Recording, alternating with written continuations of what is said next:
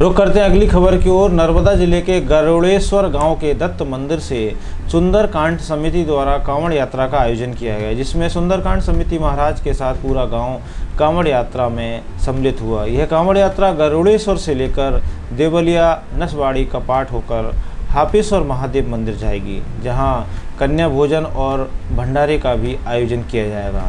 यह कांवड़ यात्रा गरुड़ेश्वर गाँव में आकर्षण का केंद्र बनी थी।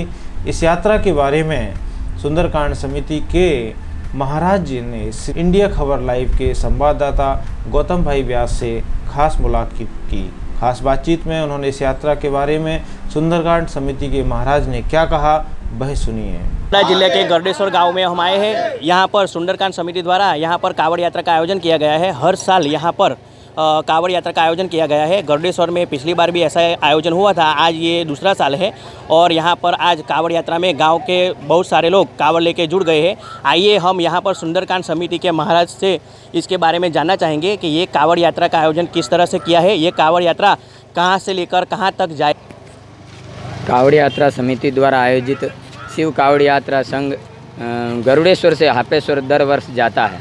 और इस बार भी उसका आयोजन किया गया है। बहुत संख्या में ग्रामीण लोग इसमें भाग ले रहे हैं और सोमवार के दिन ये कावड़ हापेश्वर पहुंचेगी।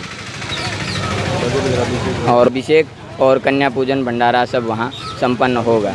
यह कांवड़ इस तरह का रहेगा? ये देवलिया नसवाड़ी और कमाट और कमाट से हापेश्वर पहुंचेगी यात्रा।